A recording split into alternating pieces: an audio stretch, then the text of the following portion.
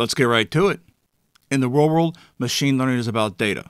No data skills, no machine learning job. It's that simple. If you're new to this channel, you might not understand the importance of SQL. Those that have been following me for any length of time know I've been preaching this for the last six years. Let's do a SQL interview checkup. If you don't know these answers without hesitating, you're behind the curve. Actually, you're way behind the curve. The technical interview is stressful, and interviewers are going to expect that you know the basic softball questions without thinking.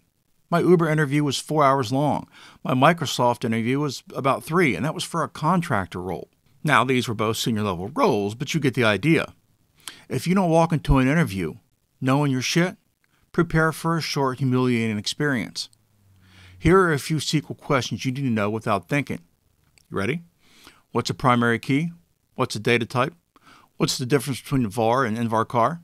How many clustered indexes can a table have and why? What's an inner join return? How'd you do? Can you answer all of them? If you can and you've been following me, why not? What's your excuse? I've given you the answers.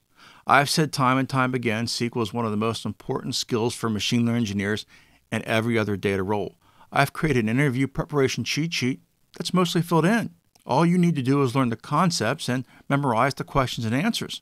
Many of you fail to understand that are interested in data roles like the machine learning engineer and the data engineer that these are elite roles in IT. The people in these roles are insanely smart, educated, technical, and passionate about their jobs. If you're thinking about joining this elite group, you're going to need to level up your skills.